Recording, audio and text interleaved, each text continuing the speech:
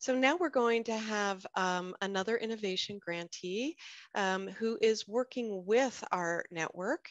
Um, uh, the Georgia Innovations in Nutrition group. Uh, you'll be meeting Dr. Shannonhouse. She's an associate professor professor at Georgia State University and principal investigator on an ACL a clinical trial uh, aimed at reducing social isolation, loneliness, and elevated suicidality during COVID and beyond. Hannah Carter is a doctoral student and also at Georgia State University and serves as a clinical coordinator on the grant. And Jamie Glover is a senior center director for Laurens County, Georgia.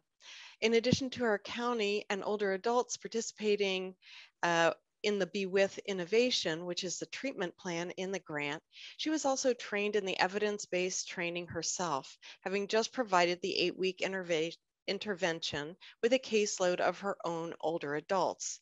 The three are absolutely delighted to talk to you and find this work to be some of the most meaningful work they've engaged in. So if you'd like to share your screen, Dr. Shannonhouse, I'll turn it over to you. Thank you. Can you see my screen okay? Yes, we can.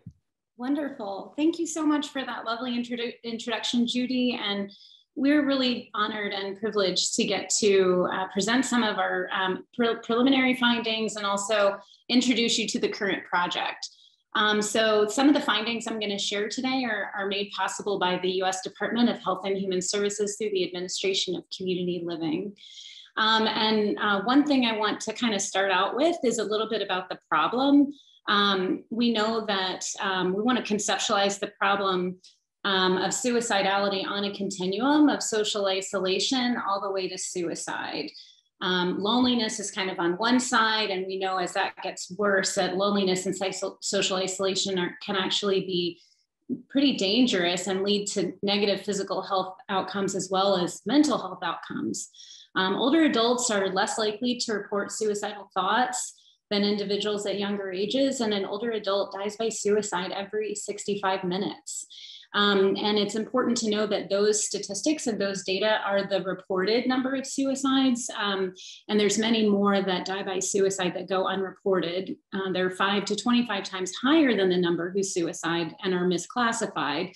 In terms of older adults, this may be like voluntarily stopping of eating and drinking, having an accident, withholding medical treatment. And beyond the five to 25 times statistic, there are 40 to 100 times more suicidal behaviors than the number of reported suicides.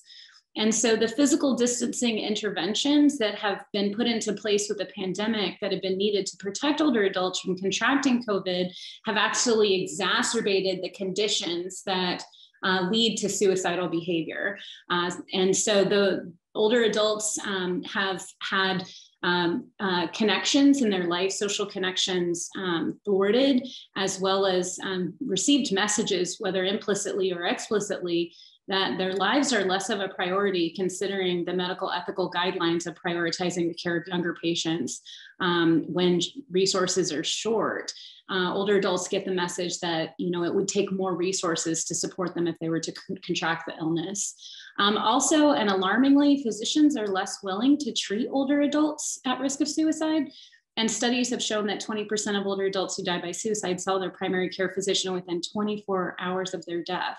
So this means that while we know older adults have one of the highest rates of suicide, there are likely even more deaths by suicide that go unreported and unnoticed. So this may make you wonder why. Why would someone uh, older adult want to die by suicide? And this is the dominant theory of suicidal behavior developed by Thomas Joiner. I did not uh, develop this model. Um, this model is uh, in, indeed used uh, to ground our research, and it's also informed the measures and the data that we collected and have and are continuing to collect.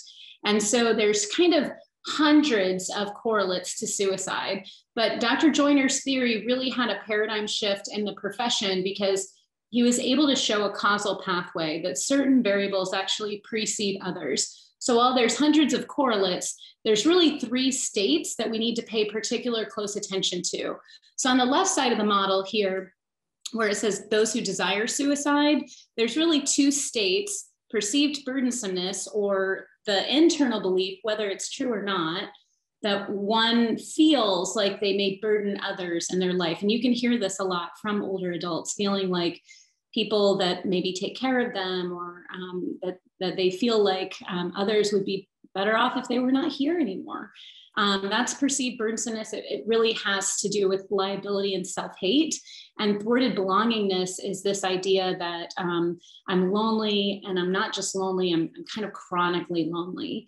And so this also has two variables uh, uh, chronic um, loneliness and lack of reciprocally caring relationships. As humans, we tend to need other people to be in our life and we need to contribute to them and we need them to contribute to us and that to be a reciprocally caring relationship.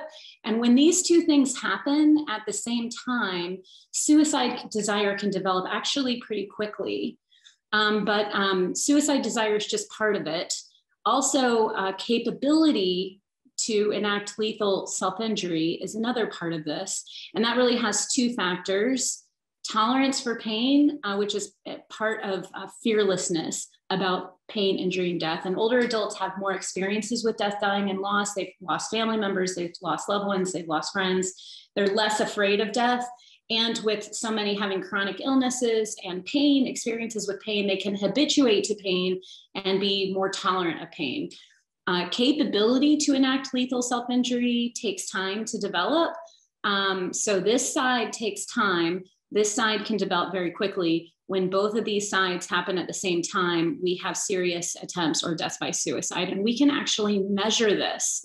Um, and so part part of this, just introduce you to one of the quick papers we published is a just cross-sectional snapshot. So this is just at one point in time, people age 60 to 103, 490, receiving home and community-based services, receiving home delivered meals in particular. About half met clinical criteria for anxiety, a quarter depression, half had experiences of pain daily. And in terms of these suicide variables, we use the variables in Dr. Joiner's research and in his measures. Um, about 77 of the 493 met clinical cutoffs for suicide. Um, and 23.7, so almost a quarter, reported a history of suicidal ideation and behavior. And alarmingly, 65 of those indicated the possibility of ending their life in the future. So, what we know is that suicide is a problem. And I'm going to turn it actually to Hannah to talk a little bit about the treatment.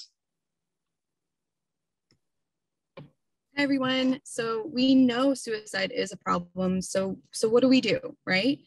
We have an ASIST intervention that is actually at the heart of that study that Dr. Shannonhouse just spoke about. It was the heart of our first grant. And it's an intervention study. And so ASIST is actually a two day, 14 hour, I know like a lot but it's the standardized, manualized suicide that really is about intentionally recognizing based meals and congregate services in Georgia connections that may be is their home delivered meal providers. So this study um, is actually equipping them with evidence-based intervention skills. And so we're going to talk to you briefly about the training. Um, and it's more about the model that recognizes that referrals may not be enough. So as you can see, this is the um, evidence-based model. This is called the PAL model, or um, as we like to call it, the PAL model, because it is the pathway for assisting life. And looking just a little bit above the kind of um, circle that says caregiver, kind of following this thread throughout, this explore, ask, hear, support, develop, and confirm.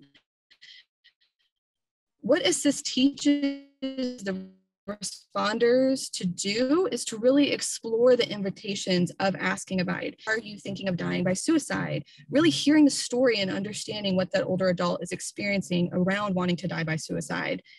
And then really helping that person at risk identifying the turning points or the reason to live. Really developing then a safety plan and then confirming actions. and the goal is to keep the person safe for now, choosing between living and dying is really hard.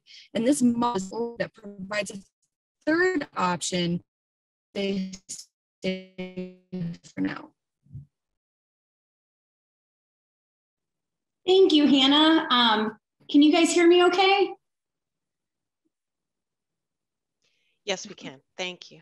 Great. Um, we had a little bit of uh, choppiness there. Ho hopefully this is getting clear. I wanted to just briefly introduce you to some data here that, that are, we collected data before people took the 14 hour evidence-based training that Hannah just mentioned, and then after it. And we see in traditional scoring that we have, um, you know, uh, lower is actually better because when we score the measure, we compare people's ratings to expert suicidologists. So the higher you get, the more discrepant you are from those criterion scores. So we see in traditional scoring, we're seeing quite a bit of improvement. We also have a, a nuanced way of measuring this. So overestimation is the degree to which people can overestimate the helpfulness of responses or underestimate the unhelpful responses. So higher actually is more skill on overestimation and lower is more skill on underestimation. We're seeing some pretty massive moves, almost twice um, twice the size in terms of improvement in skill and again down is better so pretty big significant shifts when you combine the nuanced scoring we're seeing in terms of an average of 58 we're seeing a 23 point move closer to expert suicidologist criterion scores. So these aren't just significant effects. These have very significant effects with very high effect size. These are high effect size, high power. We have evidence here that people that take the training um, are able to, um, uh, to, to do suicide interventions. We also see that in the training, but we also see that in the data. And so quickly, those that uh, were trained just in a couple of months before COVID hit, performed 51 suicide interventions. And um, also, we took another test at uh, uh, a third time point, which revealed that those um, people that were trained actually retained their skills over time. And then we also did some qualitative work with these individuals, um, and we were able to kind of um, understand a little bit more about um, what are barriers and also what are things that make it um, more likely for the training to be effective. And when home deliver meal uh, clients are given consistent routes, that helps. Inconsistent routes, it gets in the way. Um, when certain volunteers uh, seem to have more availability in their schedules, they're more freed up, they might be retired, they might have time on their hands, or they just have a big heart, that seems to help the intervention happen. And there's just in, in general some variance across the aging network and what it means to do more than a meal. Um, and so some of these takeaways are, are, being able to, to look at and support um, older adults that are most at risk by matching them with volunteers on their routes if they're particularly distressed. We have a way of assessing that with people that have this 14 hour training to be able to do suicide uh, first aid at a moment needed the most. Uh, just due to time, I'm going to kind of skip some of these other parts and get right to this partially nested randomized control trial. So in the partially nested RCT, we have 60 volunteers um, that we've trained um, in, in different conditions that are making uh, 3,840 warm calls to older adults in Georgia. So with COVID, our innovation is happening over the phone. And we give them a baseline uh, measures. Uh, we give the UCLA loneliness, the INQ, which measures thwarted belongingness, perceived burdensomeness, this uh, SPS, the anxiety, depression, and uh, this mental health measure. And so these are the battery of measures that we give and that we're able to score and rank order people in those measures into low, medium, and high risk. And then we're able to stratify and randomly assign those older adults to the different training conditions. And then what we do is actually we'll be conducting multi-level modeling on the analysis.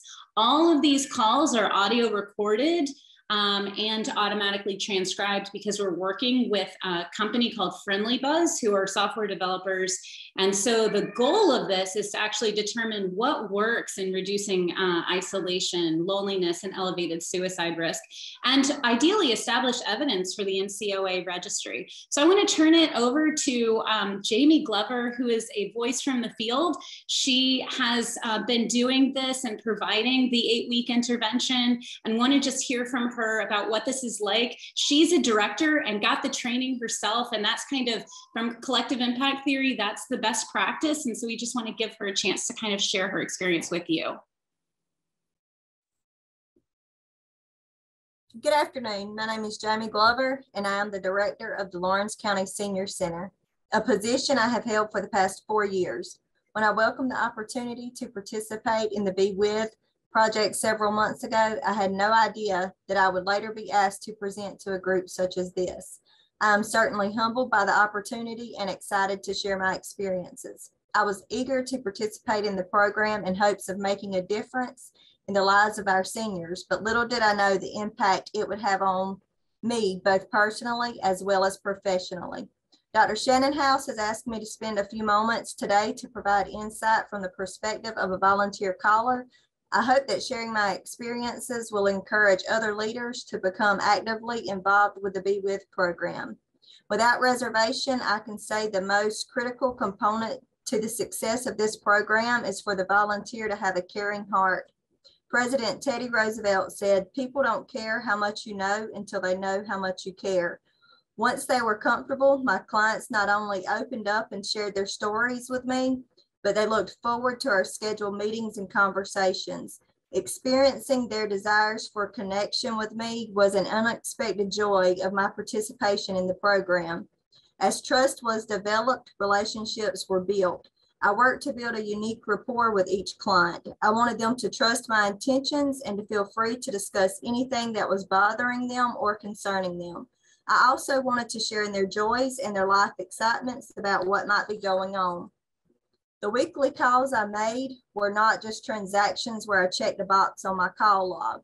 It was important for my seniors to know that they were not an obligation of mine, but rather an opportunity, an opportunity to make a difference by transforming lives.